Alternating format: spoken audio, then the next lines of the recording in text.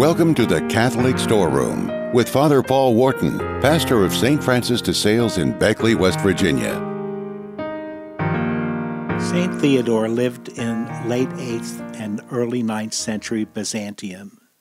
The website Catholic.org sums up his life in this way Theodore was venerated for his personal holiness, his brilliant abilities as a preacher, and his willingness to champion the rights of the Church even at the price of deep personal sacrifice. Although he experienced much suffering, this is what he believed. And so it is with the soul. Unless it is first snowed on by afflictions, troubles, and difficulties, it will not flower. It will not bear fruit, but by enduring it bears fruit and partakes in a blessing from God. His faith was rooted in Jesus Christ.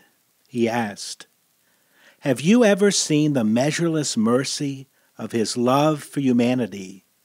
How unsearchable are His mercies and inscrutable His acts of compassion, which He has poured out on us through Jesus Christ our Savior.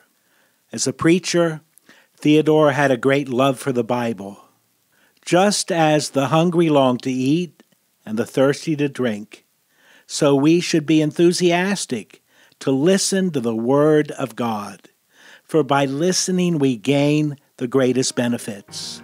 A spiritual life in Christ, based upon the Scriptures, will help us carry our crosses. The Catholic Storeroom 2,000 Years of Wisdom and Insights.